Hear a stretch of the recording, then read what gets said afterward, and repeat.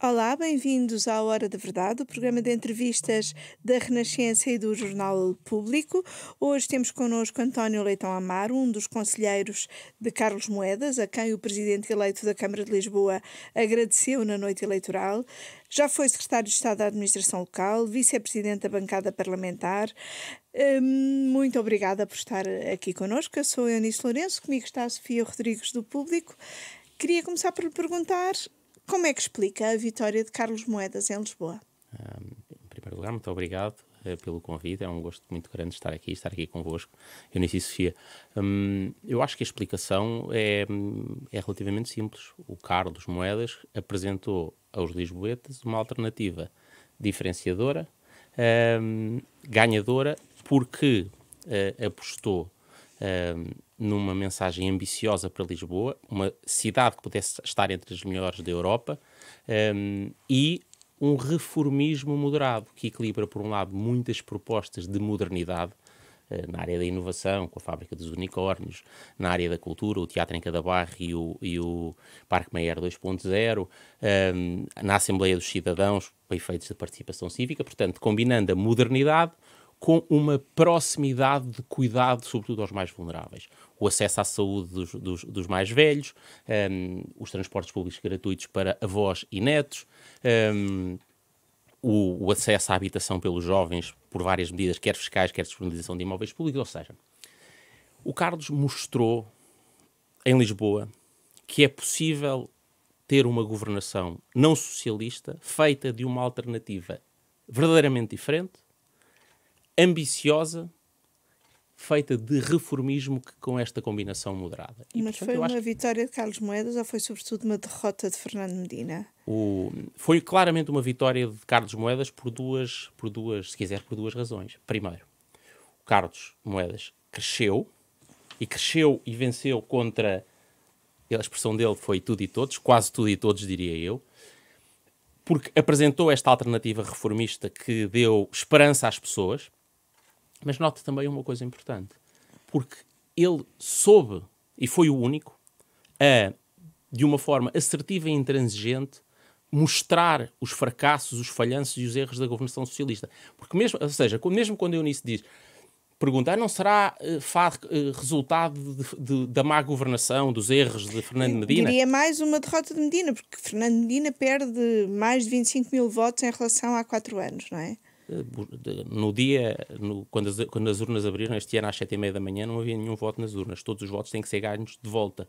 E o Carlos Moedas também fez muito bem, um, muito incompreendido numa dada altura, mas neste momento sabemos que foi, que foi correto, uma denúncia muito assertiva, muito intransigente falhas, quer no serviço aos lisboetas, os tais jovens que não, têm, não conseguem comprar casa, os tais idosos que não conseguem aceder e não têm médico de família, as dificuldades e o caos no trânsito, essa cidade e os bairros que estão a ficar para trás e que não estão à frente dos holofotes das câmaras. Portanto, ele conseguiu denunciar os fracassos na das políticas públicas e da falta de competência na gestão, mas também uma forma muito uh, preocupante de governar, neste caso, uma autarquia, muito em sintonia com António Costa, e, portanto, se quiser, se quiser falar a derrotados, eu acho que António Costa é tão derrotado como Fernando Medina, porque as políticas verdadeiramente sempre foram de António Costa seguidas por Medina, porque António Costa se envolveu nas, na campanha, mas há um mérito que tem que ser compreendido também na dimensão da denúncia do que está errado e nessa denúncia assertiva. Aquela governação carregada de problemas éticos, da promiscuidade, da, da, da utilização do aparelho autárquico e municipal para um, distribuir um, em função do interesse partidário, de uma forma certa, em grande medida clientelar, houve distribuição de, de, de verbas e subsídios a, a, a dias e, a, e a, poucos meses das eleições e, portanto, o Carlos não apenas apresentou uma alternativa feita de propostas de reformas, uma maneira diferente de estar na política, a capacidade de atrair muitos independentes, pessoas novas, os melhores da sociedade, que se juntaram à volta dele, mas também essa assertividade e essa intransigente defesa de uma governação melhor e é por isso apontar e tornar mais evidentes os erros da governação socialista de Fernando Medina e de António Costa, eu acho também é a parte do sucesso. E, portanto, é claramente uma vitória de Carlos Moedas e é uma vitória essencialmente dele.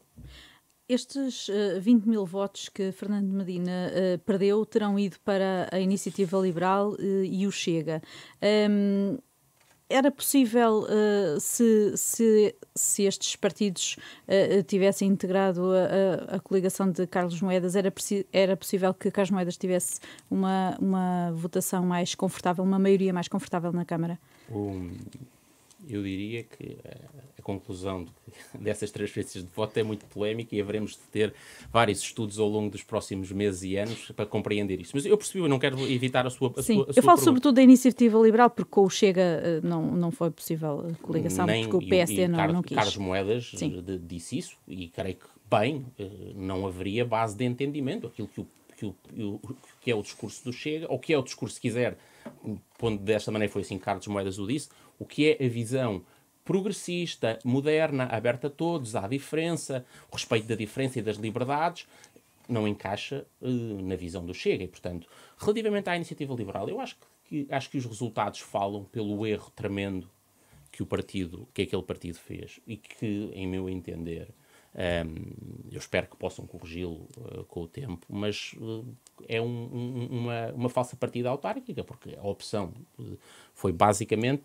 privilegiar o interesse partidário, de ter uma, uma marca, uns candidatos próprios, procurar eleger a pessoa A ou a pessoa B por interesse partidário, isso ficou evidente, aliás, foi quase praticamente reconhecido, em vez de apostar no único projeto de mudança. Felizmente, um, e essa também é uma lição para o PSD, um, é possível o PSD ser liderante e ganhar a partir da sua base e com, sua, com o seu cunho e com a sua marca. E, portanto, um, haveria muita, poderiam existir muitas circunstâncias que poderiam permitir um resultado ainda maior. Este resultado já é extraordinário. Nós lembramos o que toda a gente dizia há poucos uh, dias e semanas da eleição. E, portanto, o, o Carlos teve, o Moedas teve uma vitória extraordinária. Um, e quem poderia ter estado, se poderia ter um, uh, uh, estado numa situação coerente dentro do projeto, não quis por interesse partidário, eu creio que hoje só pode estar arrependido e, seus, e muitos dos seus eleitores a dizerem o mesmo. Mas agora que está eleito, sem maioria, como é que vai uh, governar uh, a Câmara? Uh, onde, Sofia, onde é há uma maioria de esquerda, não é? Tudo. É, é necessário um, pôr uma, aqui uma coisa clara, é que as condições e aquela análise que nós temos sobre a governabilidade do, do Governo da República e da Assembleia, um governo que, é, que tem uma, uma, uma que existe por nomeação, com uma responsabilidade indireta a partir da, da Presidência da República e, sobretudo, do Parlamento, não é a realidade das câmaras. O que é que isto quer dizer? Na Câmara Municipal, todos os, os, os eleitos pertencem ao Executivo. O que significa que a dinâmica de decisão é completamente diferente. Aqueles cânones que nós utilizamos para averiguar a governabilidade e as condições no Governo da República não estão aplicados. E eu, nestes dias, tenho visto uma confusão enorme, como se estivéssemos a falar da mesma coisa, que cada vez tivesse que ir ao Parlamento, onde tivesse, fosse o centro da, da, da discussão política. Não é assim. Note, aliás, que um dos candidatos eleitos derrotado, vereador, já veio dizer publicamente que irá votar tudo o que for positivo e não estamos a falar de sequer, obviamente, da, da área da direita. Ferreira. Exatamente, que votará o que é positivo um, e o que ajudar a resolver a vida das pessoas. E, portanto, porque compreende isto. Que, que, as, que as condições são diferentes. A cada semana há votações sobre medidas de política concreta.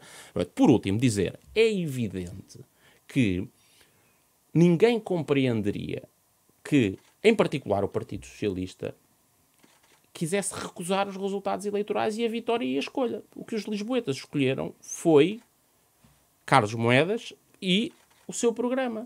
E, portanto, é preciso respeitar. Com certeza que depois nós temos aqui uma vantagem muito grande, que é o Carlos Moedas é muito combativo, é muito defensor dessa alternativa diferenciadora, mas também é uma pessoa com uma enorme capacidade de construir compromissos, de cooperar, e, portanto, eu creio Sim, mas que... o PS é que pode não estar nesse clima de, de cooperação, uh, tendo em conta a derrota que, que sofreu, não é? E, e, E até que não alguma... esperava. E que, e que não esperava, e que, e, portanto, é preciso dar tempo ao Partido Socialista. Há coisas tais como tentativas de pôr em causa a legitimidade cedo, não cooperar, deitar abaixo. Esperamos que isso tudo passe e que um, o respeito democrático e a preocupação mínima com o interesse de Lisboa um, prevaleça. Um, respeitem o vencedor e a vontade de mudança que foi expressa, foi expressa pelo, pelos lisboetas. E, portanto, eu creio que, que era só o que faltava uh, mas também diria muito do Partido Socialista, mais uma vez a pôr o partido à frente do, do, do deste caso da cidade do Conselho,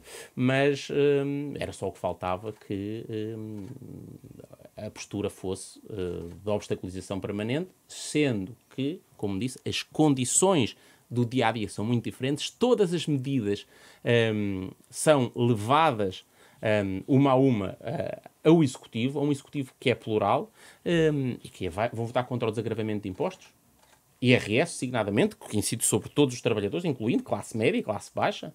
Uh, vão votar contra transporte, transportes públicos gratuitos para avós e netos, vão votar contra um, o acesso à saúde dos mais velhos, um, a utilização de património público um, para o mercado de arrendamento para os jovens terem acesso a casa eu acho que nem na substância, nem no espírito democrático, qualquer desses cenários faz, faz sentido. E para mais, como disse desde o princípio, as condições são muito diferentes na governação local. Carlos Moedas, na noite eleitoral, disse que a mudança tinha começado em Lisboa, mas não vai ficar por Lisboa. O que é que isto quer dizer? Quer dizer exatamente isso, em primeiro lugar, e em segundo, que esta é uma demonstração.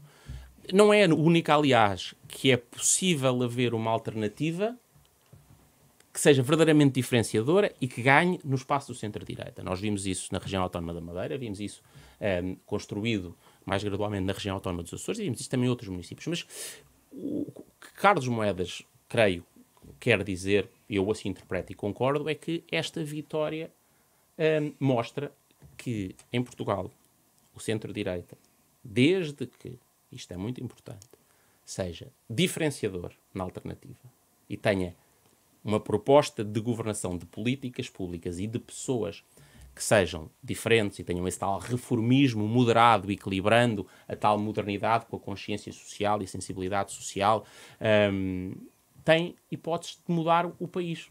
Vencer eleições e mudar o país. E, portanto, aquilo que nós esperamos, todos, diria eu, muitos portugueses e aqueles do, que são do PST, é que este exemplo, este sinal em Lisboa, se alastre e isso chegue também ao país, uh, chegue também uh, ao plano nacional. Este pode ser o princípio do fim do, do ciclo socialista e, e acha que o PSD pode estar em condições de ganhar as legislativas já em 2023? O, o PSD não tem por que achar que não está em condições.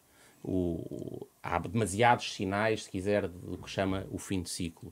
Um, o desespero uh, preocupante uh, do Primeiro-Ministro nesta campanha com comportamentos que são uh, politicamente, em alguns casos, uh, mais do que isso, democraticamente inaceitáveis, como o abuso da função de Primeiro-Ministro para privilegiar candidatos do seu partido, a propósito, sobretudo, da bazuca, aquela cabeça perdida a propósito do, da, das declarações sobre, sobre a refinaria da Galpa em Matosinhos, são só mais alguns sinais de um governo em claramente sem rumo, um, ehm, que quando pôde aproveitar o, o, o pico de, do ciclo económico internacional 2017, um, sobretudo, um bocadinho em 2018, pôde distribuir, mas basicamente não tinha projeto para mais nada.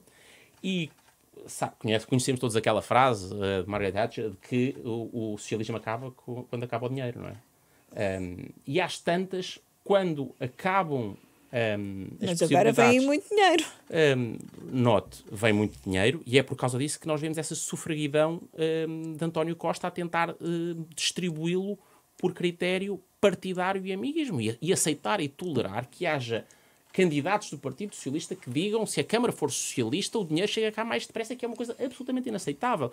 E, portanto, hum, vem algum dinheiro, noto, continua a ser uma parte pequena do produto interno bruto e daquilo que nós, nós, nós se estivéssemos a crescer, como por exemplo crescemos em, na, na década entre 85 e 95, o que acrescentaríamos ao PIB por força uh, e à nossa riqueza e aos rendimentos dos portugueses e das, das famílias por essa via seria muito, mas muito mais do que vem do, do, do PRR e do o novo pacote de fundos europeus, claro, nós temos que escrutinar com muita, com muita, com muita atenção. Mas um, não é suficiente e eu creio que esta, estes resultados são também um sinal de fim de ciclo. Um, e sim, desde, que o PSD queira ser diferenciador e ter uma alternativa feita de rostos novos, credíveis e envolvendo independentes e equilibrando modernidade com aquele tal cuidado social e preocupação com os mais vulneráveis, creio que esse caminho com diferenciação, oposição assertiva, crítica e, e, e denúncia do, do, do, que é errado, quer na, no plano ético e da promiscuidade, quer nos fracassos de governação, acho que isso é possível. E neste momento o PSD tem essa liderança diferenciadora? Um, há tempo para essa discussão. O, nós tivemos durante meses a trabalhar afincadamente nas eleições autárquicas e na vitória autárquica. Eu procurei ajudar o, o Carlos Moedas, mais do que muitas outras candidaturas pelo país, mas tive a minha própria candidatura em, no Conselho de Tondela, onde, de onde sou, onde fui eleito Presidente da Assembleia Municipal, com uma maioria um, absoluta, e estive concentrado nisso. E os militantes do PSD, todos concentrados nisso. E eu vi vários que não eram candidatos, mas que andaram pelo país fora a ajudar os seus candidatos. Tivemos resultados, agora há uma fase uh, de apreciação e avaliação dos resultados. Depois abrir-se-á esse processo de, de, de, de, avaliação. E nessa fase de apreciação dos resultados, já disse aqui que esta vitória de Lisboa é uma vitória essencialmente de Carlos Moedas. Uhum. É de Carlos Moedas ou também é mérito de Rui Rio ou aconteceu apesar de Rui Rio? O, aconteceu com, com Rui Rio, a presidente do partido. Isso, isso é indiscutível, mas ela é uma vitória indiscutivelmente, essencialmente de Carlos Moedas. Ele é o primeiro o último e principal responsável. Porque o que é escolhido um, é não apenas um líder, com características muito próprias, a tal capacidade técnica que lhe é reconhecida, a capacidade de envolver os melhores de várias áreas, a capacidade, a experiência internacional, a moderação dele, a humildade face a uma certa arrogância. Há um cunho individual e depois há um cunho programático e de estilo de oposição também assertivo em alguns momentos criticado. E, portanto, por tudo aquilo que eu disse logo no princípio, eu entendo mesmo que é uma vitória eh, do Carlos Moedas, essencialmente. Um, houve muitas pessoas a contribuir, um, mas eu diria só mais isto. Quanto mais sobe, nós sabemos, e aqueles nós que sabemos, como as coisas se passaram dentro da preparação da candidatura, etc., mais sabemos que o mérito é essencialmente um, do Carlos Moedas. É uma grande vitória e é um sinal de grande esperança, não apenas para Lisboa, para o país, mas que é possível fazer mesmo diferente e que o centro-direita pode ter uma alternativa, desde que diferenciadora um, e ambiciosa e reformista, pode ter sucesso. Este resultado de Lisboa e o resultado das autárquicas em geral para, para o PSD parece estar a travar um, ou abrandar alguns ímpetos de, para a sucessão de, de, de Rui Rio. Uh, Paulo Rangel, acha que Paulo Rangel teve demasiada pressa? Pressa? Como assim? Eu, eu creio que ele escreveu uh, no vosso jornal, não é, Sofia? Uh, exatamente a dizer que este não é o tempo de fazer balanços. E, portanto, eu, o que eu vi de Paulo Rangel nas últimas. Eu referi-me antes, antes de não, domingo. Não, antes, eu, da noite, antes da noite eleitoral, não é? Antes de sabermos Sim, os resultados. Vi, repare, eu vi uh, Paulo Rangel, que é um dirigente nacional do PSD, ou se quiser, até um dirigente europeu do, do, do PPE mas também um dirigente, um líder parlamentar do PSD no, no, no grupo, no, no, grupo parlamentar do Parlamento Europeu, viu a correr o país inteiro. Como vi vice-presidentes da direção nacional, como vi outros militantes, vi eh, que foram candidatos no passado, que foram presidentes do partido, vi o Luís Marques Mendes, vi o Luís Montenegro, um, ehm, em vários eventos pelo país fora, e vários de nós, eu também tive em muitos conselhos, que não, não apenas o, o, o, o, o Tondela, onde era candidato, e, e depois este apoio aqui em Lisboa. Um, e, portanto, eu creio que fez o papel dele. Aliás, respondemos todos, eu diria, o partido respondeu de uma forma exemplar, e eu acho que sem exceção, de forma exemplar, ao apelo do Rui Rio. Todos a marchar e a remarmos juntos para contribuir para uma vitória. Nos casos eh, ganhamos, noutros nem por isso. Eh, há muito trabalho pela frente, porque o país precisa dessa alternativa diferente, diferenciadora, ambiciosa e desse reformismo moderado. E quem é que pode protagonizar essa, essa alternativa? Será mais Paulo Rangel ou, ou Luís Montenegro? O, poderia equacionar todas as outras possibilidades, podia equacionar o atual presidente do partido. Um, Além do próprio presidente do partido. Alimentar e responder a essa pergunta era fazer uma, uma entrar numa discussão que me parece extemporânea. Vai existir muito tempo. Vão aqui preencher seguramente vários destes programas uh, e várias páginas de jornal e horas de rádio e, e outras tantas de televisão um, ehm, a falar sobre isso. Uma coisa de cada vez. Há aqui um sinal muito importante para o país. E repare, isto não é uma questão de tática. Se nós não deixamos consolidar esta ideia, e é um, se calhar é um bocadinho, é, e é muito por isto que eu aqui estou também, para, trans, para ser eco dessa, dessa, dessa ideia, de que o que aconteceu em Lisboa, mas não apenas em Lisboa, é um sinal de que o centro-direita pode dar essa resposta ao país, desde que seja diferenciador, ambicioso e reformista. E note, o centro-direita em Portugal ganhou, com os melhores resultados já agora, duas das últimas três eleições legislativas em Portugal. As últimas quatro eleições presidenciais em Portugal. Governa as duas regiões autónomas. Governa muitos municípios, a maior parte das, das, das capitais, de, ou o maior número de capitais uh, distrito deste país.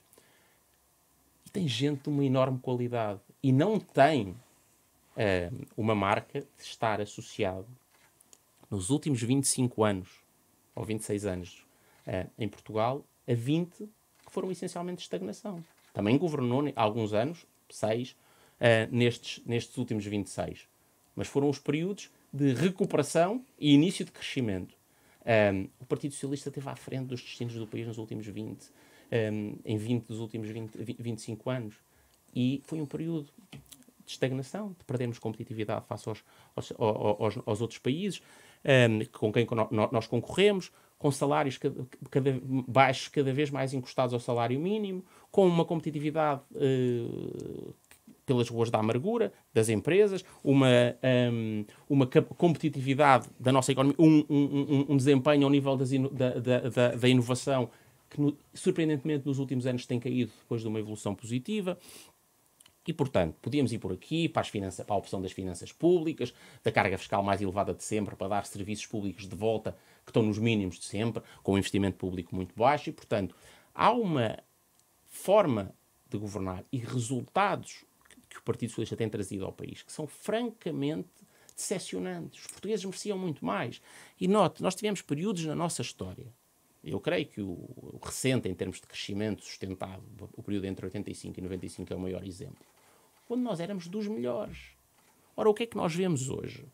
Nós vemos a cair e a ficar para trás, na mediocridade, nesta lógica socialista de distribuir apenas e não fazer crescer, e distribuir enquanto há, e depois começar a ficar aflito quando é, isso escasseia, sem nenhuma ideia de como fazer o, partido, o, país, o país crescer, sem apostar verdadeiramente em conseguir fazer uma valorização dos nossos recursos humanos, e com um número e uma situação de pessoas mais pobres neste país, uma situação que é gritante e aflitiva. E essa situação permanece depois de 20 anos em 25 de governação socialista e só uma alternativa liderada pelo PSD é que, é que, pode, que pode dar agora, essa resposta. Agora disse uma alternativa liderada pelo PSD, mas tem usado muito uh, o termo uh, centro-direita. Um, o caminho é esse, é de uh, tentar agrupar o centro-direita, o PSD e o CDS aparecerem cada vez mais juntos e o que pode levar, por outro lado, a uma certa diluição do CDS? O, pelo CDS falarão os os, os líderes do, do, CDS e farão as suas escolhas estratégicas. É indesmentível que tenha havido uma interação uh, e uma colaboração uh, muito uh, com uma grande cumplicidade, com uma grande, com uma, com uma um, grande coerência sincera entre os dois partidos, sobretudo desde a última governação no país. Um, e que deixou, obviamente, essas raízes um, Acho que cada partido faz o seu, o seu caminho. Eu gosto de ver um CDS forte, honestamente, porque acho que representa um espaço próprio. Um, acho que o PSD tem um outro espaço, que é sempre ser o espaço da alternativa, alternativa liderante e reformista. O único partido no qual se pode verdadeiramente confiar para fazer do país um país de liberdade, e não é apenas de liberdade uh, económica e de discurso, é de, também, mas também de liberdades políticas verdadeiras, um, de liberdade de aprender e de ensinar, de liberdade de escolher os serviços a, a, a que acedemos, mas também de uma consciência social verdadeira que não deixa as pessoas dependentes, mas quer dar às pessoas oportunidades. E, portanto, um, eu acho que esse papel do PSD é insubstituível. Um, e uma disponibilidade, obviamente, envolver todos. Se houver outros partidos com os quais nos entendemos, claro que sim. Agora, o espaço natural do centro-direita é liderado pelo PSD e continuará a ser. Eu, eu creio que o Carlos Moedas deu essa, essa, essa resposta cabal, mas se pudermos ir aos Açores e à Madeira, quer o Zé Manuel Bolheiro, quer o Miguel Albuquerque, mostraram isso também. É possível liderar plataformas diferentes, lideradas pelo mas PSD. Mas ambas com, com o CDS também. Mas ambas com o CDS desta, destas vezes, pode mas ser. também com o apoio parlamentar do Chega, Um, no, no, no- no caso é- do- dos Açores. é, um- é uma, é uma situação, enfim, não é exatamente ne- nesses termos e de relação de, de- de- de governo, é, um, é uma, outra, uma outra discussão. Ah, a verdade é que se olhar aos resultados nas, autarquia, na- nas autárquicas nos Açores, hum, o PSD cresceu e cresceu por si. Ah, e os açorianos perceberam que a necessidade e a importância de formar um governo de centro-direita e de mudar o rumo de, um, de uma região dependente ehm, e muito eh, governada de uma forma eh, muito partidária ehm, era importante. E ela foi feita numa coligação, que é essencialmente uma coligação entre o PSD e o, ehm, e o CDS, como um papel também, creio que, do, do PPM. se- Mas deixe-me ainda aqui voltar ao Chega, mas eh, sobre os resultados nas eleições autárquicas. Em muitos conselhos do país, o Chega aparece em terceiro lugar, inclusive em Viseu, que é no, no seu eh, distrito. Ahm, conseguiu eleger vereadores em grande parte das autarquias à volta de Lisboa, Cascais, Sintra, Odivelas, Vila Franca. Como é que vê o crescimento deste partido, a sua importância eh, autárquica que se manifesta em ter conseguido concorrer a 220 câmaras e ter resultados consideráveis em muitas eh, delas e de uma forma relativamente rápida, porque é a primeira vez que concorre a umas eleições autárquicas? Bem, duas, dois pontos. Ahm, de onde vêm os votos ou esse, esse crescimento? Ahm, talvez a resposta possa ser contraintuitiva para muitos, mas para mim parece-me bastante eh, provável, é que nós vemos esse crescimento no extremo, num extremo do espectro partidário do Chega, mas vemos um, um abatimento, uma queda abrupta no outro extremo do, do, do, do espectro partidário. O, o Bloco de Esquerda tem uma, uma queda terrível, ahm, sem corresponder a um crescimento nem da, C- nem da CDU nem do Partido Socialista, e a CDU também perde. E, portanto, eh, eu não quero eh, fazer uma avaliação académica, quero eh, co- colocar uma, uma intuição para, para o debate, que vale a pena ser explorada. E que os extremos tocam-se mesmo. E essa, e essa é a demonstração que nós temos tido pela Europa fora. O caso francês é um caso mais exemplar. A transferência de votos das primeiras para as segundas voltas hum, eh, para eh, o partido da senhora Le Pen muitas vezes vem de partidos da extrema-esquerda que vão para, part- pa- pa- para a extrema-direita.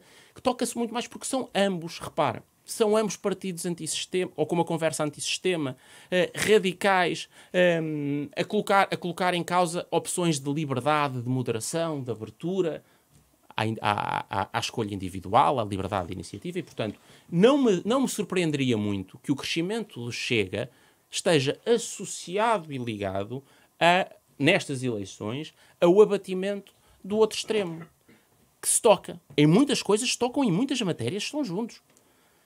Esse é um ponto.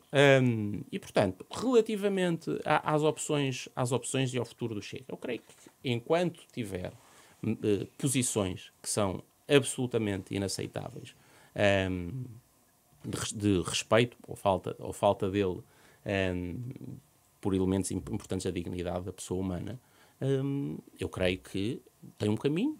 Pode haver pessoas que pensam como eles.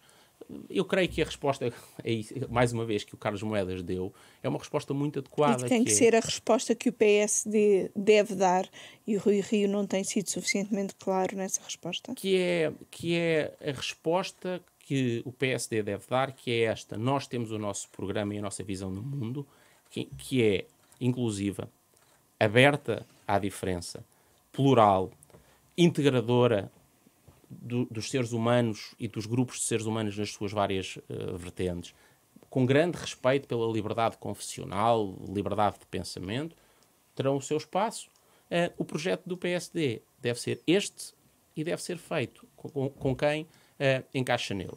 E é isso que foi isso que o Carlos Moedas disse a propósito disso, mas que muita gente disse em vários momentos, e portanto hum, o Chega tem que fazer sobretudo o seu caminho e nós temos que, sobretudo, que fazer o nosso. Liderante, construir uma alternativa que é reformista e moderada. Eu insisto muito nisso. Tem que ser reformista, mas tem que ser moderado. Tem que moderar a modernidade, hum, algumas ideias progressistas, a aposta na liberdade, mas também uma grande preocupação uh, social.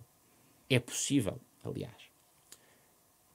A entrada do dinheiro no bolso das pessoas, os acessos a casas, a empregos estáveis, fizeram-se sempre nas sociedades eh, ocidentais e fizeram-se sobretudo em Portugal eh, desde o 25 de Abril, quando os projetos eram moderados e já agora com esse reformismo de centro-direita. O serviço, o, as ideias de segurança social, de, de serviços de, uh, públicos de saúde que nasceram uh, na Europa entre o século XIX e o século XX foram liderados, o alargamento do sufrágio, por partidos do centro-direita, com essa preocupação de abranger todos. Isso faz parte também, o PSD não é um partido uh, liberal, uh, não é um partido apenas social-democrata, não é um partido apenas social, uh, democrata-cristão, junta estas várias dimensões, o melhor de cada uma delas, e é por isso que é um partido genuinamente português, ligado um, ao melhor que o país pode oferecer de iniciativa, de respeito, desde os pequenos empresários às IPSS e misericórdias que têm sido massacradas um, por esta visão socialista que as quer esganar sem recursos, e fazem um papel fundamental, e são parceiros, e faz parte da matriz do PSD falou muito nessa capacidade de abranger todos. Eu agora perguntei essa capacidade de abranger todos, mas do ponto de vista partidário. Rui Rio terá essa capacidade para abranger todas as partes do PSD que ao que parecia, se preparavam para disputar umas eleições diretas. David Justino disse aqui na Renascença, logo na segunda-feira, que até ao Congresso ainda há tempo para todos conversarem e haver uma espécie de reconciliação e de união no PSD. Acha que isso é possível ou mais vale este partido mostrar que está vivo e que tem várias ideias e várias figuras e ter um congresso animado? O, o partido terá sempre várias ideias, desde logo, se nós quiséssemos catalogar as tais sensibilidades, eu falei de várias e, que não, e, e, as, e as figuras candidatas a líder do partido não se dividem muito nesta, por, essa, por essas tendências, se quiser. Um, tem várias ideias e tem várias pessoas. E, e, isso deve existir. E essa pluralidade e a capacidade de conversarmos todos deve existir sempre, em todo o momento. Pluralidade e respeito para oferecer esse tal projeto ao país. Um, o que é que uh, Rui Rio quererá ou não quererá fazer? Um, e o julgamento sobre a capacidade que ele tiver, eu terei seguramente muita coisa a dizer. E tenho, tenho ideias muito convictas sobre isso, que são para discutir no momento certo. Mas que, que não as quer é partilhar este, agora. Que não é o momento uh, de o fazer, porque há uma outra mensagem mais importante para transmitir. É o país relembrar, notar, enfatizar. Em Lisboa aconteceu este aparecimento de novos tempos, este sinal de esperança que é possível do centro-direita aparecer uma alternativa que é verdadeiramente diferenciadora, em que a oposição é mesmo assertiva quando toca a denunciar os erros do governo, em que se é alternativa e não muleta, em que se, ofer se oferece um reformismo verdadeiro e coerente e que combine de uma forma moderada as tais vertentes moder da, da, modernidade, da liberdade e da, e, da, e da consciência e preocupação e do cuidado social, sobretudo aos mais vulneráveis. E, portanto, há muitas bases, com certeza que o que direi mais, mais, mais tarde será coerente com o que estou a dizer aqui, mas há, como é que tudo o que eu aqui estou a dizer se declina em avaliação do desempenho do Rui Rio e das opções para o futuro do PSD, isso é um juízo para o, para o momento próprio. Muito obrigada. Muito obrigada. Obrigado, Hora da Verdade hoje fica por aqui e voltamos para a semana com outro convidado.